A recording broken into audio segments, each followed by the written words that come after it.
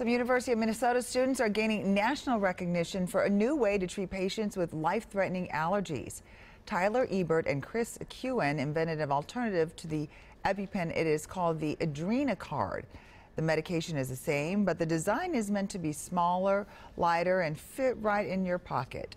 As Kate Raddatz shows us, the invention could offer a cheaper alternative and less stigma for a life-saving drug.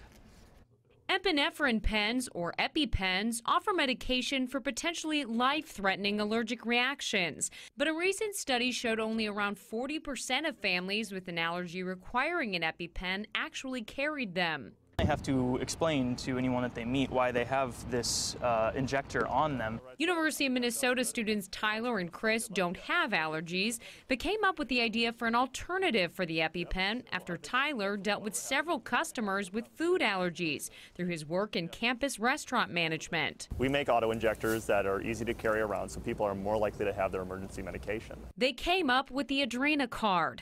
The name stems from the device's shape and the synthetic adrenaline it injects into the body. Place the end of the needle end of the device on the outside of the leg and press down to inject. The Adrenacard is about the size of a few stacked credit cards. The end product will be slightly smaller than their test model.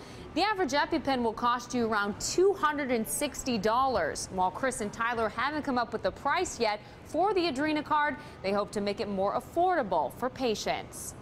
The invention earned them the title of second place for student owned businesses just last week by the Entrepreneurs Organization. While they feel lucky for their early success, they say the real success will be the chance to save lives. But the chance to be successful in something that potentially could make a difference in someone's life, that's something that's amazing. Kate says currently the FDA is testing the uh, device. Chris and Tyler hope to have it approved next year before it goes to market. Smart kids. Yeah, really. Impressive.